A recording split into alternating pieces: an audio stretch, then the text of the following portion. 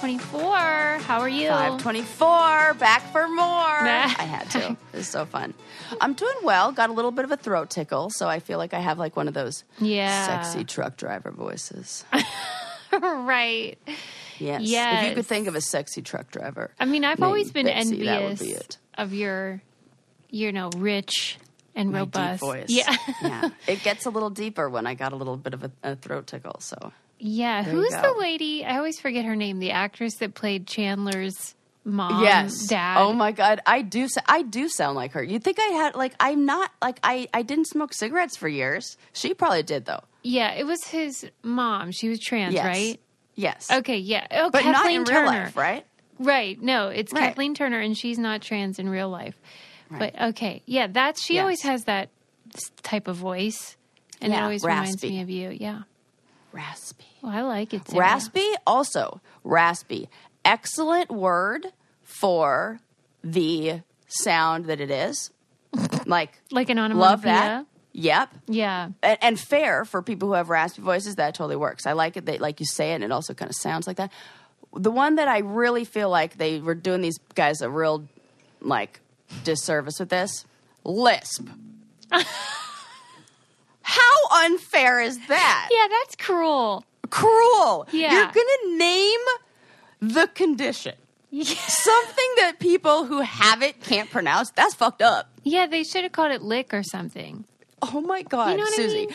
I, you know what? 500 and mm, how many episodes? I'm glad we're finally getting to this because this is one this is something that I Finally, like you've been yeah, waiting. No, really. I feel like like like I feel like this is something that I've discussed like I've brought up many At like times cocktail in- parties. Yes. Yeah. And like like you know how like you have Parlor those talk. ideas. Yes, exactly. and it fall it falls into there along with well, Right. now I don't share this anymore, but I used to share it all the time. My favorite inventions that I think would be uh, uh, really successful. I don't share that anymore. Wait, ever why? since my well, because uh, what's his name stole my children's book idea. You think these inventions are so good, someone might steal them? Absolutely, Susie. And if you heard them, and one of them already got invented. So oh, there You're you go. ki- Wait, what's the one that already got invented? You know what? I'm going to tell you, and then they're they, bleep it out. Oh, Can we do that? I guess. Okay, here we go. Graduated brake lights.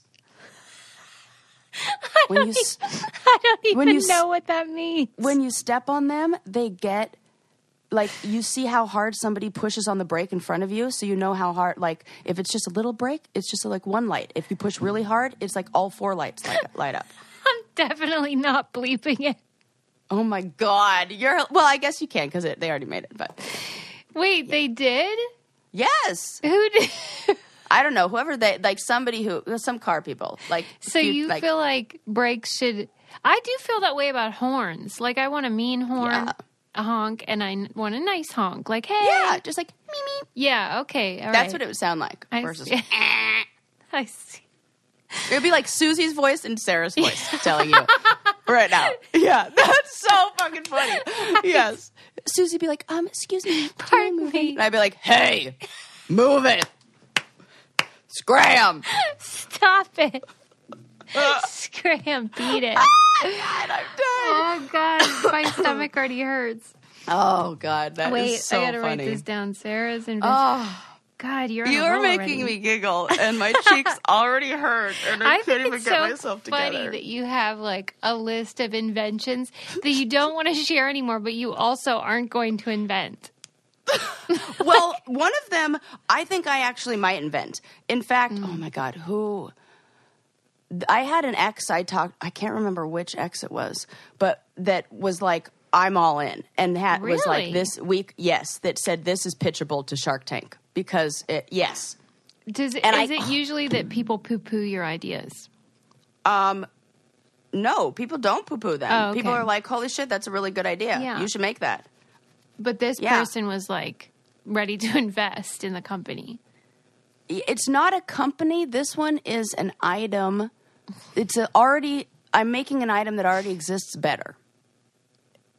Oh, okay. Yeah, you're improving something. I'm improving something, which you know women are so good at. Yes, that's true. You know, I mean, half feel the like, stories we tell on this show about like where something was invented or how, it's usually like the wife of the person that got credit for it. Yes. Mm-hmm. Absolutely. Well, that's actually a pretty good segue into one of the first things I want to share with you, which is a fantastic documentary movie sort of thing that I, well, yeah, that I watched, uh, that I think you've watched too, called The Biggest Little Farm. Yes. Oh my God, Susie. I loved this. It was a great film. That one's on Amazon, I think. Yes, on and you know what? I think it, I think it might even be on Hulu now too. Okay. Maybe you can find it somewhere. What did you like or about it? on Netflix. Everything. Um, so first of all, talking about like women inspiring ideas. This is about. Uh, so it's a husband and wife, and they lived in L.A. and they had a. Well, I don't even want to like ru- spoil it, but n- twists and turns uh, take them out and like life uh, situations uh, push them to decide that they want to um, open up or run their own farm that the best life for them the life that they really want would be a life that I totally agree with, living on a farm. And she is, uh, he's a filmmaker. He's a DP in the film industry and does like documentary filmmaking and uh, uh, nature documentaries. And um, she is a private chef. And so she, like, really cares about where ingredients come from. And she said she really wanted a farm that had all of the ingredients that she would be able to use for cooking and was really like diverse and and she, you know, they like did a bunch of research and met with people who were specialists in in you know, creating like a a uh what would you call it? Like a like farm utopia, like how farming should be. Like going Yes. back to the basics, which is a a harmonious system Mm-hmm. that is almost self-sufficient once you get it running. Like a, you know, a cycle of life kind of thing. And Mm-hmm. Yeah. like, you know, the the the whole like Like instead of fighting against nature to create what you want, Yes. you work with nature to make Yes. something awesome. yes. Yeah. here are some of my favorite parts. Okay. This place, the farm, is about five miles from my house. no. Yes, it's in my backyard. and I'm totally gonna go visit. And they have uh, uh, uh, today. Well, I'm not gonna be able to go today because I'm not feeling well. But next week, um, the farmers market every single Thursday here in my town, and I'm gonna get food from them. Oh my gosh, that is adorable. It's the most adorable thing ever. So they started this farm. It's 200 acres. It's in Moorpark, California. It is. uh, They have, I believe, 75 different types of stone fruit alone. wow. How Those many? are like April, 75 different Jesus, varietals, I didn't even know that was that many. just- period. right? Like different kinds of apricots, different kind, everything. And you just watch, like, it is a, a, an emotional roller coaster. It's like laughs. It's it's heartwarming. It's like stories of love and friendship and life and death. Also, it taught me, Susie, uh, there's a lot of death on a farm. That is for sure.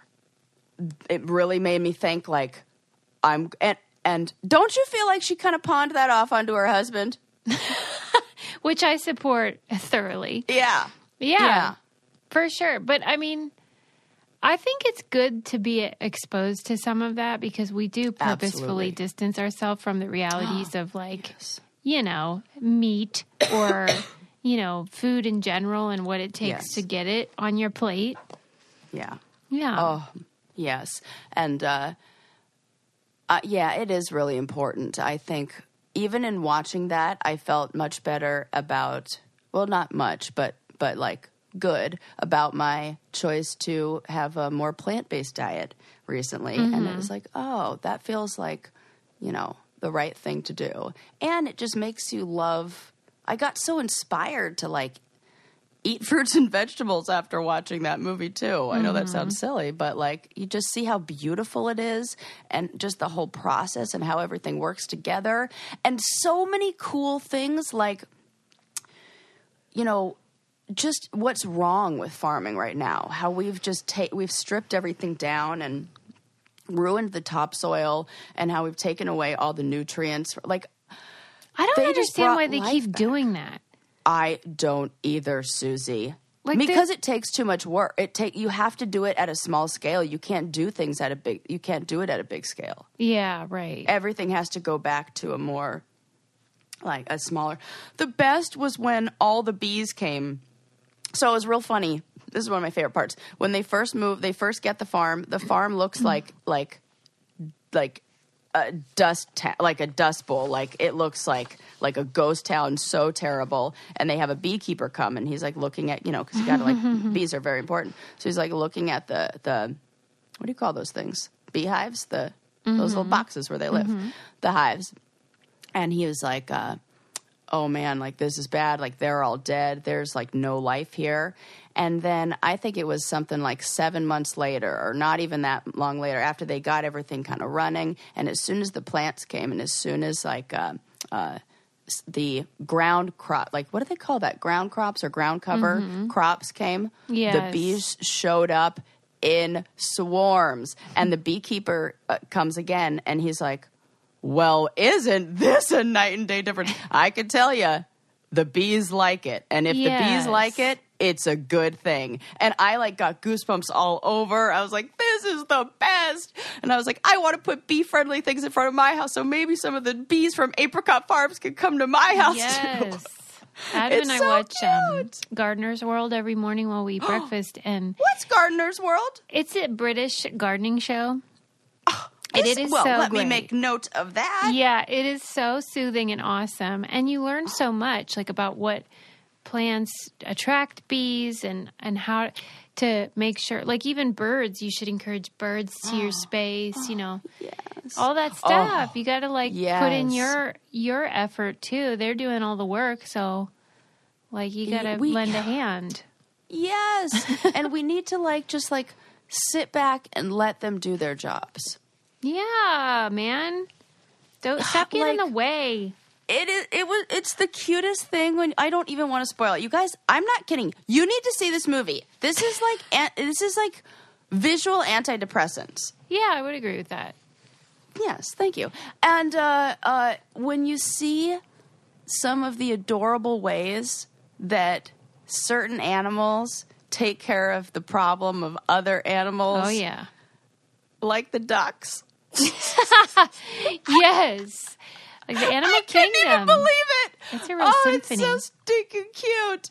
Oh God, my heart just goes pitter patter, and I just feel like I live amongst nature now, and it feels so nice, and it's like so fun to be, um, uh, you know, out in nature, and then reading our book club pick, which is the Overstory that I picked this month. If you guys don't uh, know about our book club, or like you know haven't heard about it, or aren't a member, you need to definitely uh, join us because first of all, sliding scale, free, like join whatever price you want, and like it's like laugh and learn and so much fun and. So Yeah. my book club pick, I'm just so obsessed with it already, and it's like all about trees. So it's like great nature everywhere. Well, and another thing that's great, if I dare say, is the lovely service of Noom. And Yes. we, in fact, in book club, so many of the members are also in Noom, and it is They've like great- created their own group of like support group of. It's amazing. I love it. Yeah, like our book club is like a community. And truly, I mean, that's what Noom is trying to do too, where it's like they're going to give you the tools to make your life better, to hold you accountable with your habits, can help you shop for food or better understand your cravings and not seeing mm-hmm. food as like a bad, you know, certain foods as bad or sinful. And it's such a great app if you want well we've been talking a lot about power the power of habits and that's sort of the essence of what noom is doing is trying to give you cognitive behavioral approach to changing your habits and making your life improve we love science when it works for us start building better habits for healthier long-term results sign up for your trial at noom.com slash brain candy that's n-o-o-m dot com slash brain candy change your mindset i love it Yes, I know how many people on here love learning, and Yeah. that is you learn so much. I I'm impressed with how much I'm learning on there. yeah I'm like, you know, here I am over here, like I know everything. I'm like, well, sometimes it's good for reminders too. Yes, absolutely.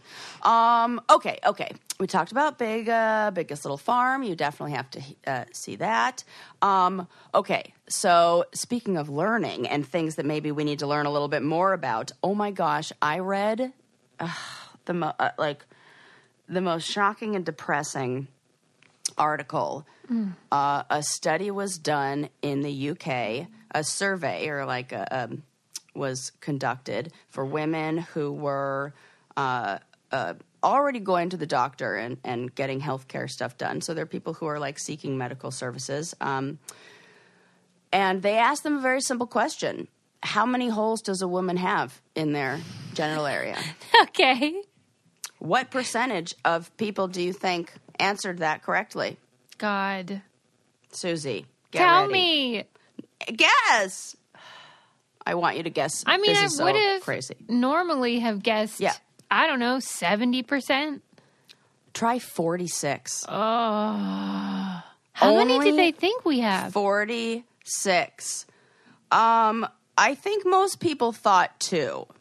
Okay. They, Yeah. So they were, yeah, people were asked to answer two parts. They were simply asked how many holes does a woman have in their private parts. And second, they were shown a diagram with seven annotated structures. And then they were asked, asked whoa, I don't know what happened there. Asked to label uh, as many of them as they could. And they were also allowed to use like layperson's language, like, you know, pee hole and bum hole. And those were acceptable answers. Okay. And only 46% correctly identified the women have three holes. Um, yeah. Well, okay. What do you have the word, the exact wording of the question? Like, did they call it the private area? Or How what? many holes does a woman have in her private parts? Okay. Well, do you think like Yeah. they didn't know that the butt was included? You know what I mean? They said that the mentioned holes were vagina, Oh, right, because they had to and specify. urethra. Yeah. Okay. That 67% mentioned the vagina, which is like, what are the other ones mentioning? All right. Then 55% anus and 35% urethra. Oh. Yep. And the structures that were most identified correctly were the vagina, Oh, 71% uh, Uh, identified that correctly, anus, 67%. 67 only. I know. What is going on, I, Suze? I can't, this seems insane. but the, the other part is the biggest confusion came from the urethra and the clitoris. Of, Wait. oh my God, right. Wait, wait, what did they think? Oh my god. Of okay, so 73% of people labeled the clitoris and Okay. 63% labeled it correctly while 9% labeled it as the urethra. Oh. Of the 51% of the people who labeled the urethra, mm-hmm. 51% labeled it correctly and the other 49% labeled it as the clitoris. So people are very oh, confused about which is which. Yeah. I mean, to be fair, it is a confusing area. I think It is. And you know what? Is like unless you've seen it Yeah. and felt it, yes. you would be like, mm, eh, you know, yeah. comes out of wherever. well, Yeah. so do you think that a lot of these people just have never seen one? I think a lot of these. Well, they said that the article said that the biggest uh, uh, factor in this was education and age, and that the people who scored the highest, and this is in the UK too, uh, but I would imagine it would be similar. That the people who scored the highest or did the best were educated, uh, older white people, and the people who did the worst were people of color who were lower income and younger. And so this really shows that we need education in schools about this, about bo- your freaking body parts. Yeah, but okay. Oh, yeah. I just thought even if you were uneducated, you'd know a butthole. I mean, that's I think maybe standard. Yeah, I don't know. I mean, That makes me sad for them. it makes right. And you know, one of the one of the parts that I couldn't even believe, uh, only nine percent of people were able to identify all of them and label all of them. Wow. I can confidently say I could label all of them and identify all of them. Yeah, I would- Well, I don't- you wouldn't I've even looked need it to. up many times because I do find it fascinating to know like the proper Yeah. names of that area. Yeah. But I guess if you didn't look it up, and Yeah. It didn't take a mirror to your own, maybe. oh The that other part that was depressing. that, so a few more shocking things in this study. Not much of a difference between men and women in their ability to label the structures, I which shows that. that. we're failing on all on, on educating everyone. However, the women were more likely to a, uh, label the anus and vagina than their male counterparts. Thank God. So when they're like, "Oops, sorry, I didn't know," maybe they actually don't know. Who women? Oh, men. Yes. Yeah, I think so. Yeah. Also, uh, the there was a common misperception that the cervix was an external genital hole. Stop. Yeah. We're really failing in the teaching of women's body parts. Yeah, we are. Yeah. Who do you think I should saw- be doing yeah. that? Schools. Yeah.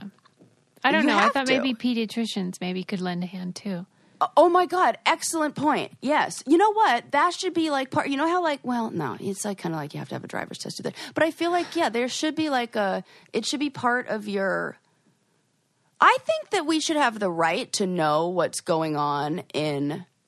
Well, like we go into the doctor and we're just like, let me take off my clothes. Go ahead, feel my stomach, and then they should like be actively explaining what they're doing as they do it. Oh my god, that's a thing. Yeah. Because I We- would say for sure. parents should do Dentists it, too, please. we can't depend on them. and also don't right let's let's put it in the hands of the people who have the education hello oh my god suze you, uh, this is i'd like to put this on the list of inventions Well, another thing, I'll, like I'll when credit you when you do take your kid to the pediatrician, at least our pediatrician, they do say that thing of like nobody should touch your privates except you know your your pediatrician or your Right. parents. But like, I feel like they also need to mention like, and it should be eh, like there should be a good reason because you know Yes. parents, as you know, sometimes a hundred percent yeah, and even pediatricians. yes My sister says she was felt up by her pediatrician. oh my gosh it doesn't surprise me Yeah, so Oh, like I don't know, that so just sad. seems like a little bit of a broad stroke. Absolutely. No, I think those kind of things should be taught. There's actually a law called Erin's Law that's in place in California, and I, I, I more than half of the states, last time I checked, um, that uh, says that uh, age appropriate sexual uh, assault awareness or sec- like uh, safe touch and unsafe touch is mandatory to teach in schools, yet that's not enforced anywhere, and they don't know how to enforce it. Wait.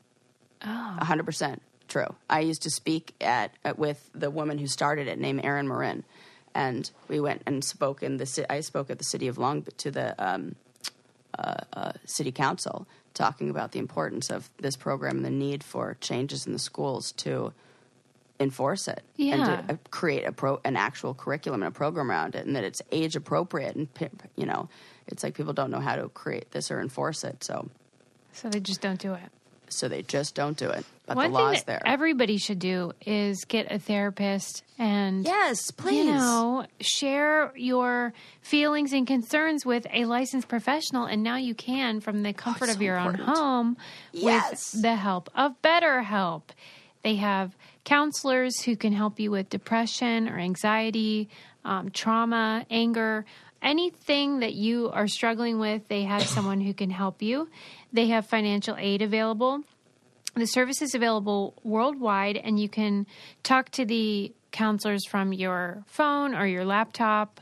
Um, so it's super convenient and less intimidating, maybe, than going into an office. And we want you to start living a happier life today. And as a listener, you'll get 10% off your first month by visiting betterhelp.com slash brain candy. Join over 1 million people taking charge of their mental health. Again, that's betterhelp, H-E-L-P dot com slash brain candy. Yeah, man. Mm-hmm. Oh, I love talking to a therapist. Do you? Yeah. I do not love it. What? No, I do not love it, but I think it's good. Maybe it's kind of like going to the gym. Yes, Afterwards, you're like, oh, yes. You never regret it. that's true.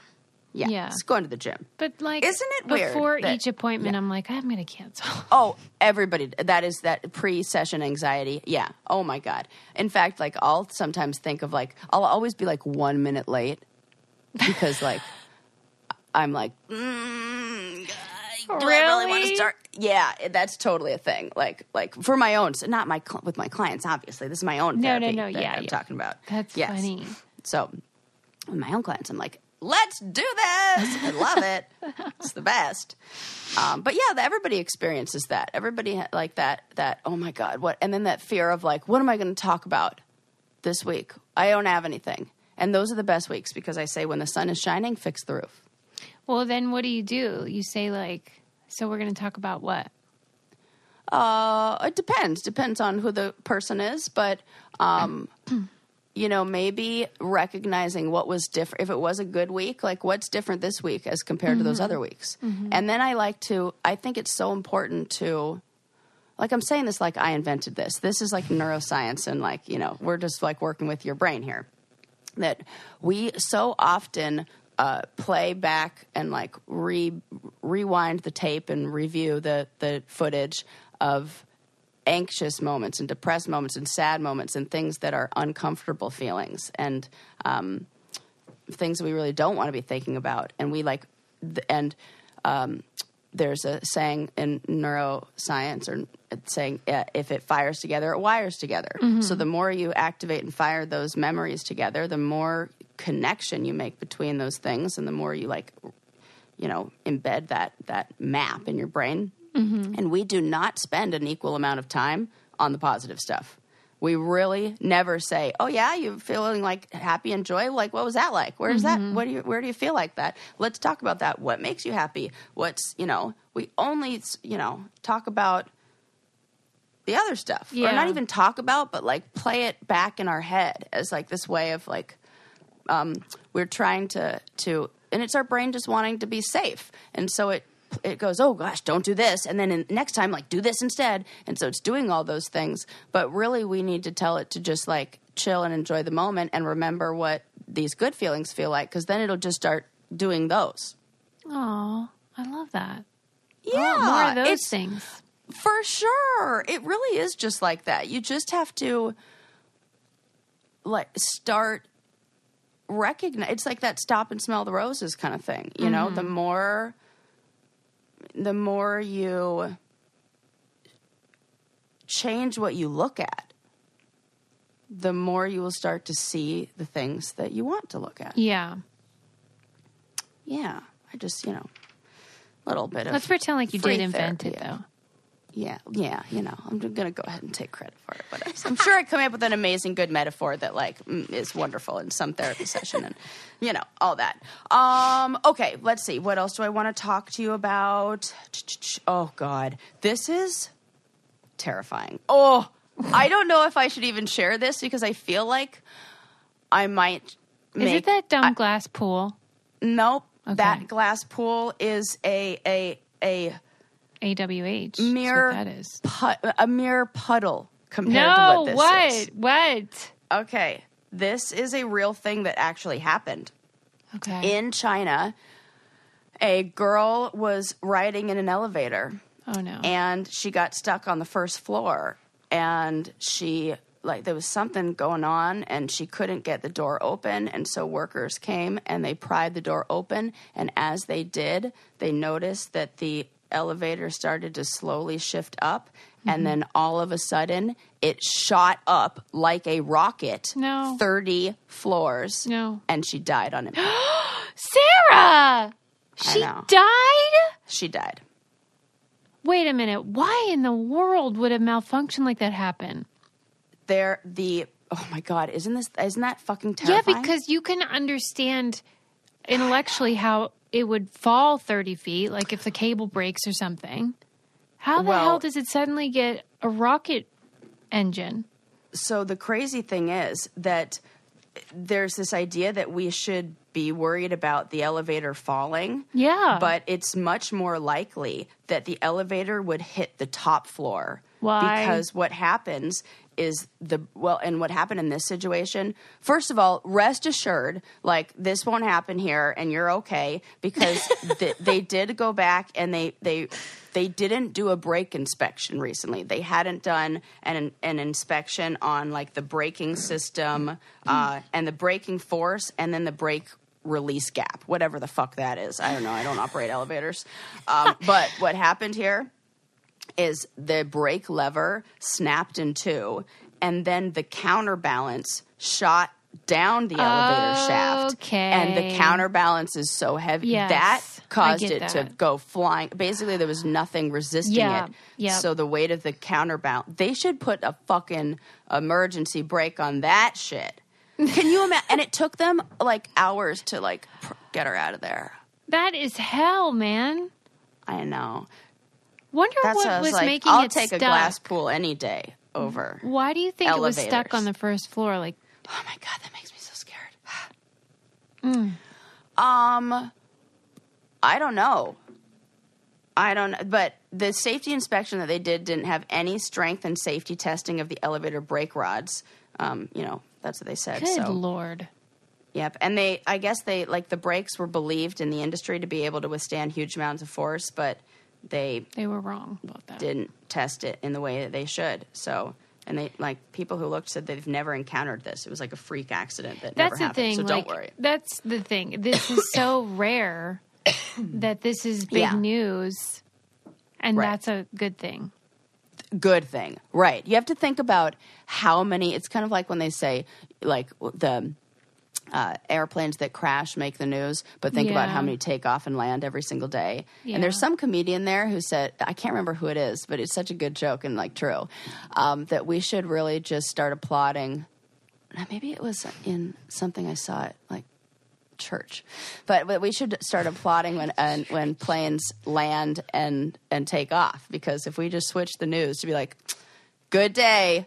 Five million pla- like like five thousand planes landed and took off safely, and like let's give it up for you know Southwest for Somebody put no up- accidents. Woo. I don't know if it was a meme or what, but it was just saying that the Wright brothers and Yeah. the moon landing were only like 50 years apart.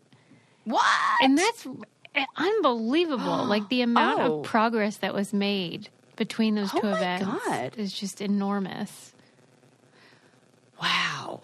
I think That- it can feel like longer because part of the progress was in the ability to film and ph photograph things in a realistic way.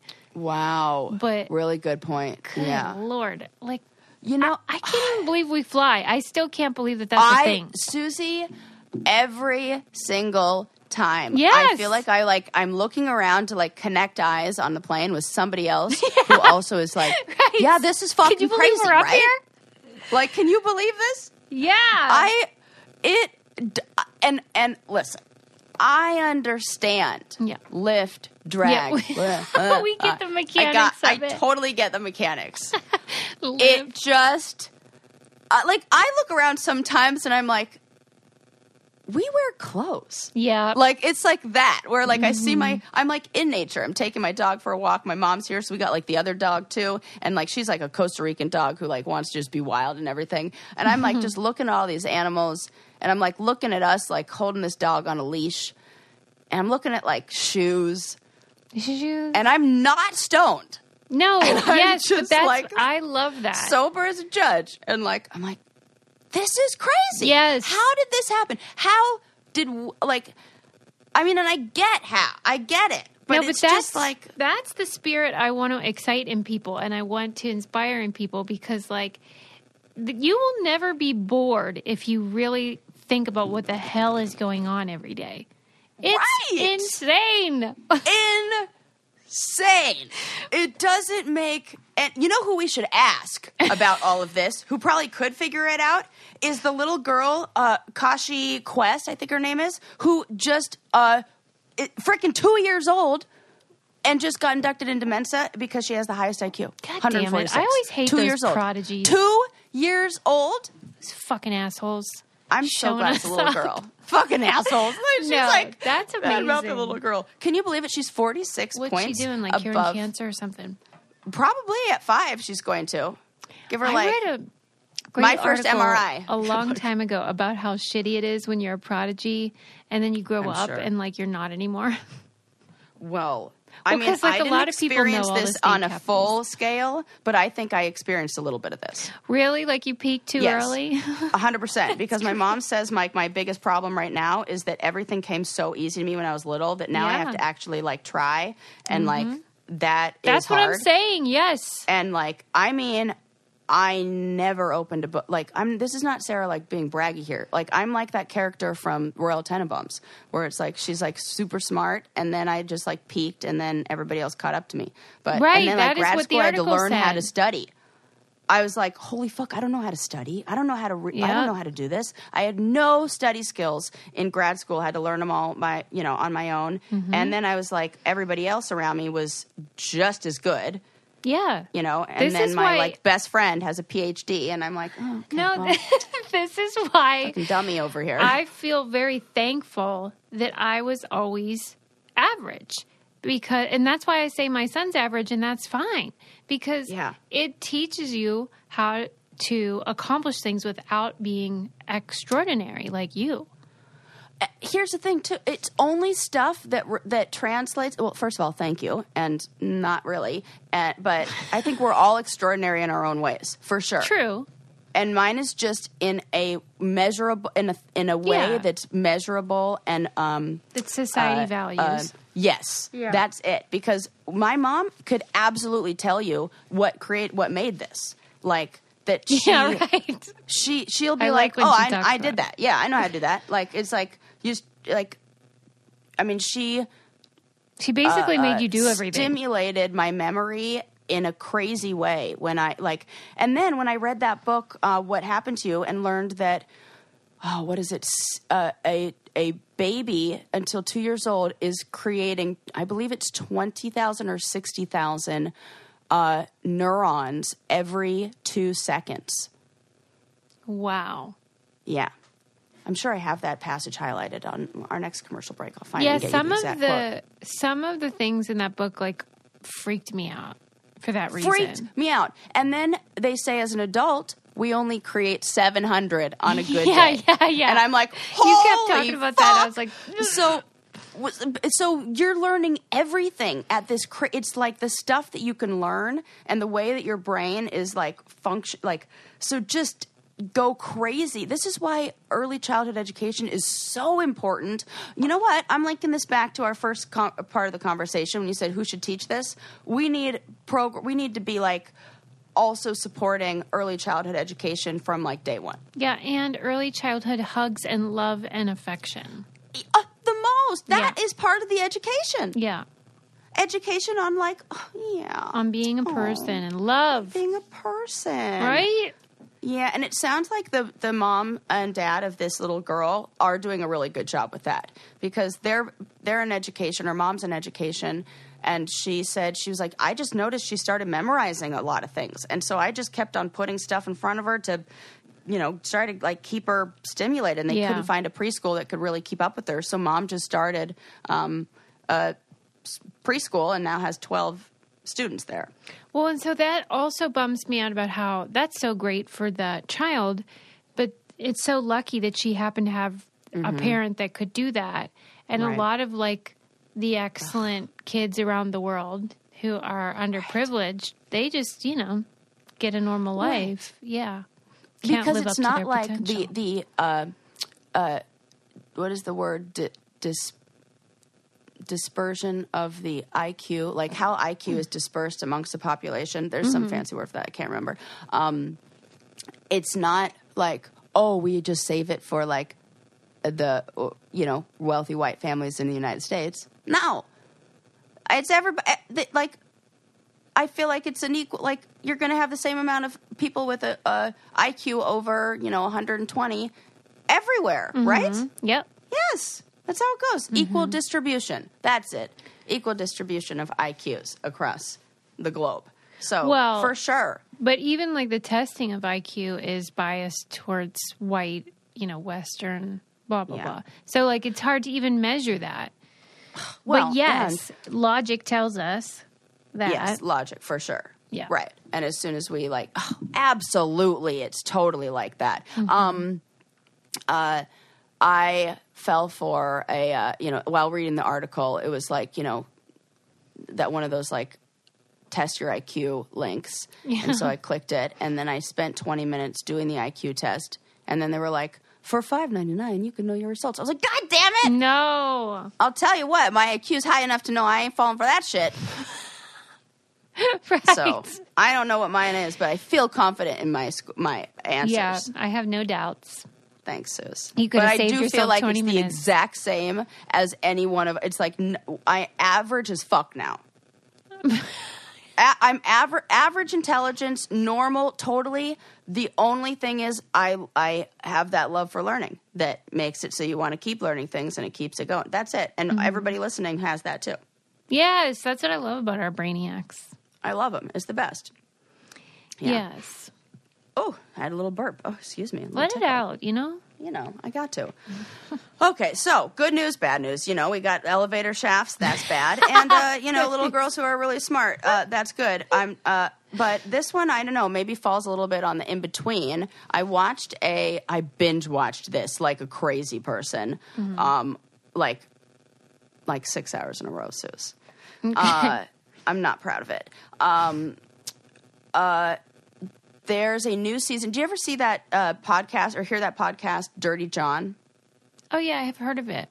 Yeah, it's so good, and it took place in Newport Beach, like the real crime. So it's there. It's it was a podcast that was uh, about a murder that took place, and it's like a true crime story, and it's like you know a lover scorned kind of thing, and. Uh, well, well, sort of. Um, but the they did a second, so they did a TV show about it that was so good, and they came out with a second season, and it is, uh, you know, same series but a different true crime story, and it's called the Betty Broderick story. Do you know who Betty Broderick is? No.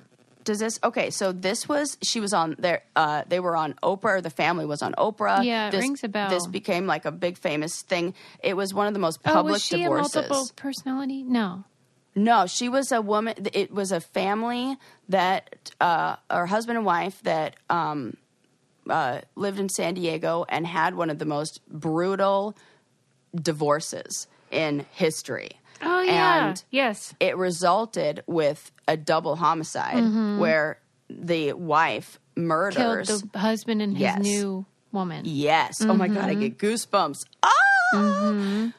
But oh man, it's good. The whole story, like he he was totally gaslighting her. It's kind of like a whose side are you really on thing. So she she the first time this goes and this is also before I believe it's I don't know. I, I can't even say this correctly because I still have one episode left. But I believe it's before laws about um, like uh, battered woman syndrome Yeah. kind of thing. Well, was he Like- beating her up? He wasn't beating her up, but there was definite psychological manipulation happening. Like, Yeah, because she was You a uh, stay-at-home mom. Yeah. Yeah. And he, but, and before um, they, well, when they first got married, so he went, he started in med school Mm-hmm. and he met her when she was 17 years old. They got married. Right. Um, and she, and then like, you know, had a baby right away. And the whole time she's working to put him through med school Yep. and is like this devoted wife and is like, uh, transcribing all of the, uh, uh, you know, all of his notes and all that, and Yeah. then um, after med school, he he decides that he wants to go to law school and wants to go to Harvard, and so she supports him through that. And she's like, now has like two or three kids, and is like home taking care of and working all these jobs, and then he.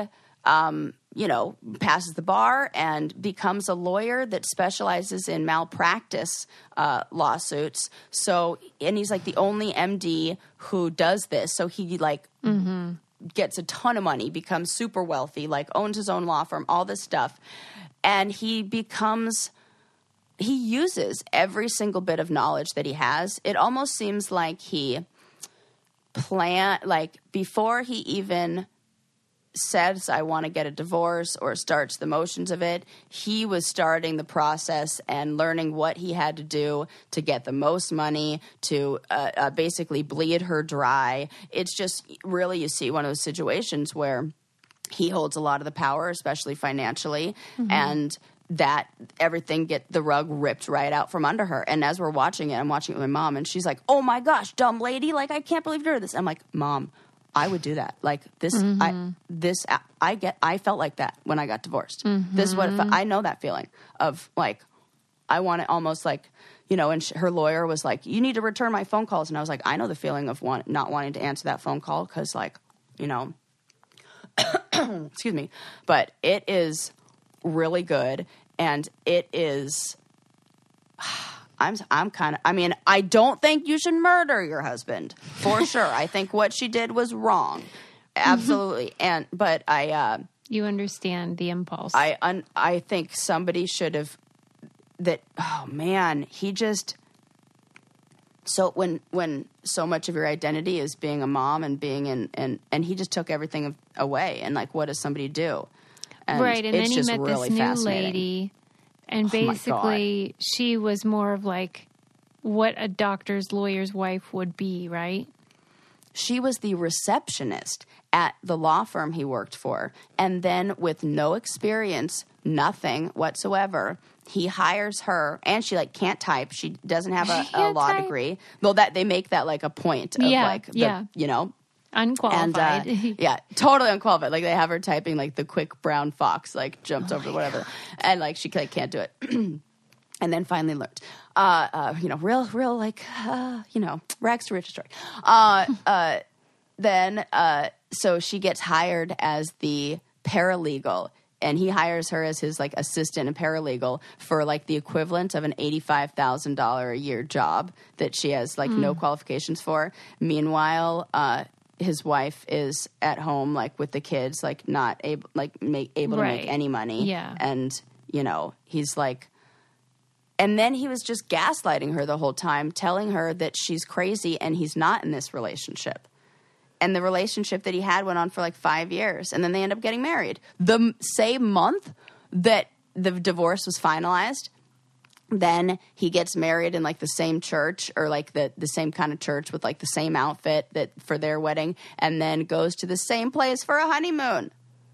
oh my god. I mean, uh, and then the girlfriend records the answering machine on the phone, and it's like, like originally she had. She had like she's kind of in a way kind of taunting her too. Like she re- re-recorded before they were even married. The girlfriend at the time girlfriend re-records the an- the outgoing message on the um, husband's answering machine at their home because this is like 1985 too when this is happening and uh, the answering message said like you've reached the broderick family and she's the fucking girlfriend who's saying it so every time that the mom calls she hears that and it just sends her Yeah. into a like a frantic and he won't answer any phone calls he won't like um you know uh, and he's like changing things with the court about like uh visitation and you know she's supposed to have easter and then he like files something that says like he can she doesn't get that now but she never hears about that because that you know he knows all of the ins and outs of the court systems and all this stuff he even made it so every time she calls his house and uh, leaves a message and uses any kind of profanity, he fines her $150 out of the spousal support check, and somehow that was okay. So at the end of it, she ended up owing him $750,000. I remember What? the kids were on Oprah. Oh my God, the poor kids. Well, like It they were adults like- at that by that point, but like yeah. were they in the series?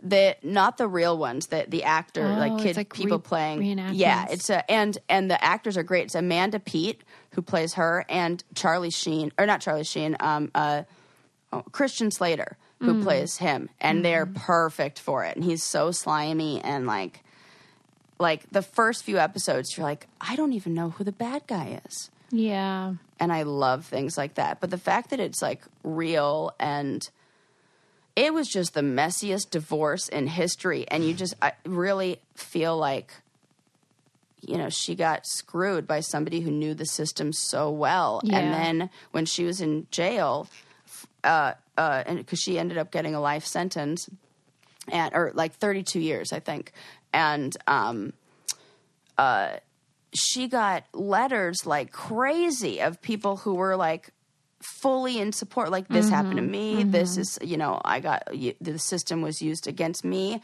Like i mean i even felt that a little bit you know of like just Yep. somebody who could of like you know i'm gonna do this just because i can. Yeah.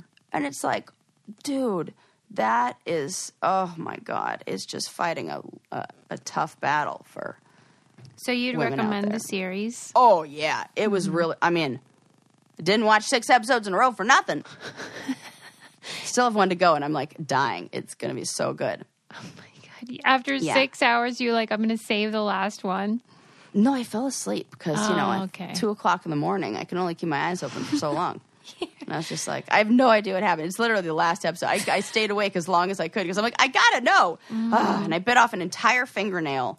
so Man, upset Sarah. about it. I know. I always keep it to just one because I'm like, I can't bite any of the other. And so like, like I'm like, okay, I've got my. It's terrible. I really should just Was like. it in the um the What Happened to You book?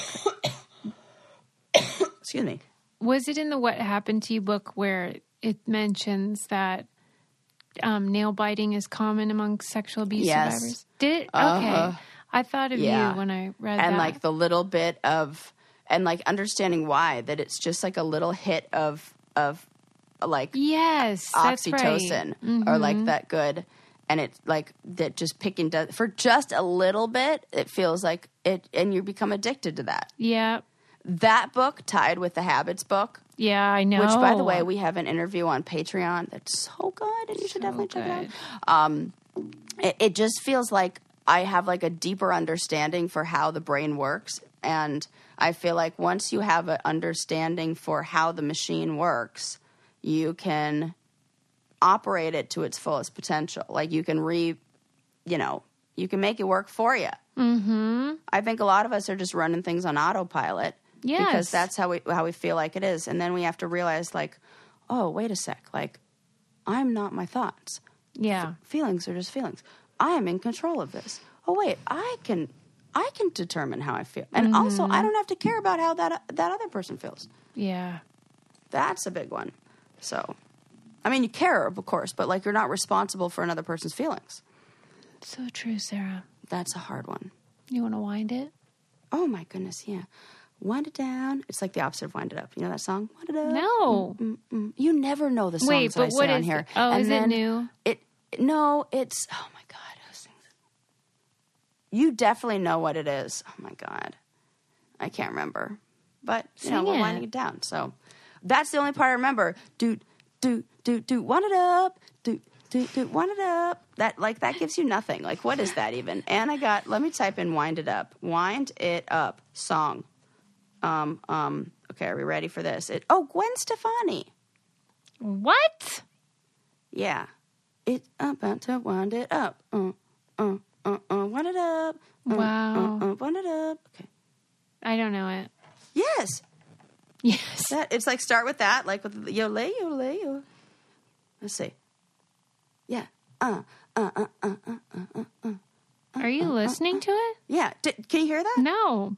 Oh, well, that sound. I thought I was playing it. Well, we'll see in the uh, in the thing if I was playing a little bit of it. So it sounded really weird then if you were just sitting there in silence for a minute. Yeah, I was like, like, oh, don't you really hear what's going on? hard. Oh no, I was I was playing wind it up. So that's either going to uh, be in there or just be a weird moment of silence as we wind it down. Today we found out Sarah has a lot of inventions in the pipeline. Uh huh. Yes. Um, so you know, I am using my brain to think and know a whole bunch of stuff. Uh, but the people in the UK don't know about how many holes you have. And I Right. imagine that They the might have called the it a United States pipeline. don't do much. oh, Susie with the jokes. Oh, that is so funny. Um, we got terrified of elevators. Yeah. But amazed by flight. I mean, we really had a moment of wonder. Yeah, and you know what? Isn't that what it's all about? Yes. And And maybe if we just embrace more of those moments of wonder, we too I can mean, like I don't know, what- open up our brain and end up. In This is what Fred Rogers said. Isn't it marvelous to marvel? Isn't it wonderful to wonder? Yes, it is. and it's it- oh my God, awesome my to heart goes awe. pitter patter for that. I love that. Mhm, you gotta Just keep in that the same way, you. my heart went pitter patter for the biggest little farm. Yes, and all the bees. Oh, it's so good, and, And- I can't wait to update you guys on what their stone fruit varietals taste like. Yes, I can't wait till you go and get their produce. This is very exciting. Ah, yeah. Well, Um, I want to encourage everyone to check out our book club and also the documentary club. Um, sign up for our newsletter. Check out our Patreon for bonus content. Patreon.com slash brain candy. Subscribe. Tell a I friend. can't wait till this month's book club. I can't wait to talk about trees with all of our book I feel like people. that every month. Like, okay, we have so much to talk about. and my heart just feels so full afterwards. Yes, shout out to our book club peeps. Shout out. We'll see you next time, everybody. Bye. Bye.